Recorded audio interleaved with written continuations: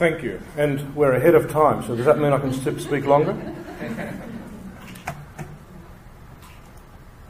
Okay, so I just want to report on a, um, a project that um, I was involved in last year on behalf of the School of Education on Principals of Professional Development, um, which was part of a larger, much larger AusAid program um, that had been running up until last year. In fact, it's, it's begun again in, a, in another iteration uh, 387 million was the total project. The uh, basic education project was addressing quality of schools education and particularly focused on teachers and learning materials and better training and resourcing of schools. And the particular part of the project that I was involved in related to the development of school principals, which was seen to be a key element in terms of doing anything to bring about quality um, enhancement within schools in Indonesia. So, and, and, one of the reasons is if we look at what the, the role of the, the school principal is in any context, actually, not just in, in Indonesia, the, the principal has a really important role of providing leadership and vision, strategies, and managing resources, uh, physical and human, and uh, implementing policy and also developing local policy, and acting as a community liaison person so, uh, all of these things hopefully to bring about optimum student learning. And um, so, clearly, the, the principal has a really important role to play in terms of schools and in terms of education development. So, um, just some contextual things again, and I'll skip through these because we're all probably quite familiar with it. Lots of islands, lots of people, low, relatively low GDP per capita. Uh, significant poverty levels, uh, but declining. 33 provinces, 395 cities and regencies, which are important uh, because it's the districts or those regencies that implement education. And um, school principals, until recently, their appointment was um, by, by direct, either by the provinces or the local um, agencies. But in 2010, um, the government introduced some regula- uh, regulation, Regulation 28, which set the processes for appointment of principals and the training that they should undertake in order to be a principal and remain as a principal. Also, in 2007, another regulation was important because it specified the competencies uh, and the workplace standards that principals needed to work to. And it's an interesting regulation because they're expressed as competency standards. Um, since 2001, there's been a lot of deregulation going on down to the provinces. But the other really significant change that's happening in Indonesia, at least at a policy level, is a paradigm shift from a, a, trans, um, a transmission approach to education, which is exam and curriculum and content dominated, into a more learner centred approach to education. I stress, though, that this is at the policy level, bringing those sorts of transformations about at the school level is, is difficult in any context, but it's certainly difficult in Indonesia. Um, so the project was that I was involved in was focused on principals professional development and had three parts to it.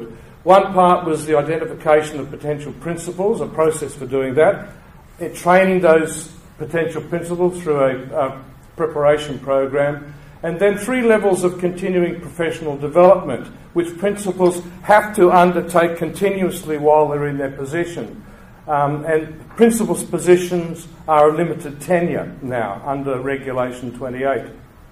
The program in particular last year that, that I had involvement in as part of a team was the Level 1 program of the continuing professional development.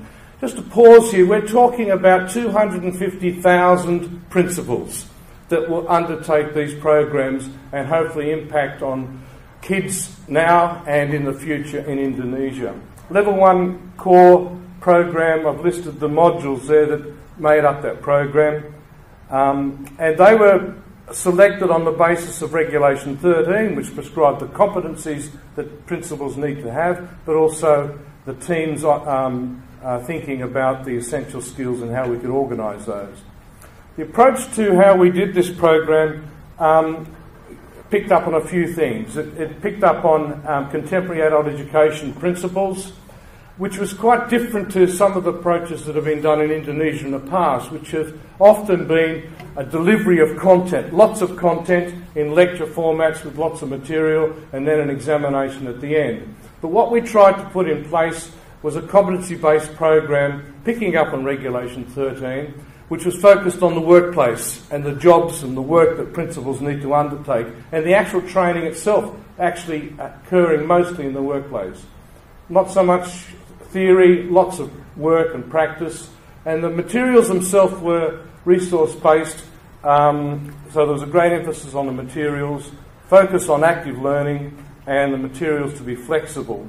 The major structure of the programs incorporated a, an in service component where people came in for a period of time, and did some intensive training, a three months on the job training component, and then a follow up face to face component. The methodology that drove the program, but also drove the research that was part of the evaluation, picked up on qualitative and, qualita- and quantitative elements. Uh, in the trial, there were 420 participants across six districts. The major instrument was a questionnaire, but there was also focus, various focus groups, um, use of various technology to capture evidence, uh, and also a lot of reflection by the team that was involved.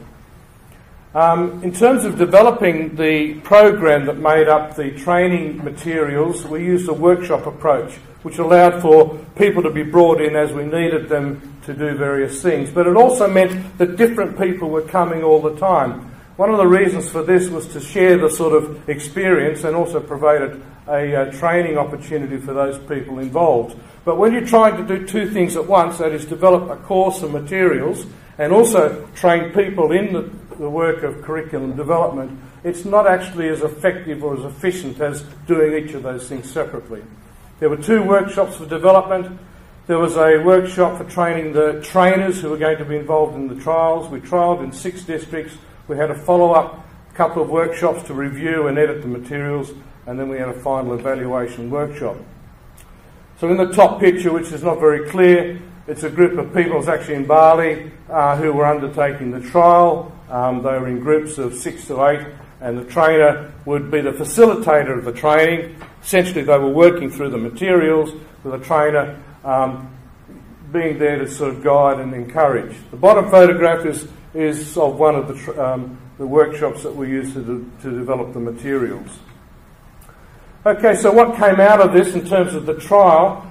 Um, seven modules over six, in six locations over three days. Um, groups uh, were used. Um, the trainer, as I said, guided the, guided the, um, the learners through the materials. Um, we had a questionnaire. Uh, some of the criticisms that came out of that process, uh, were, there were a few. English terms was one.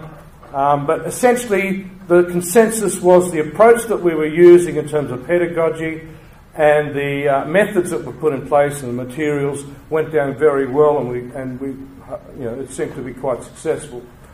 So just to finish up, then this um, approach seemed to work, but it was very difficult because the need to build a culture of understanding about new training methodologies. Um, it was very difficult, and there was some pushback on that. Um, and the, the, the, while that particular part of the program finished last year, They've just started the second phase, which is working on the level two and level three uh, materials, which is continuing into this year, again funded by AusAid. Thank you.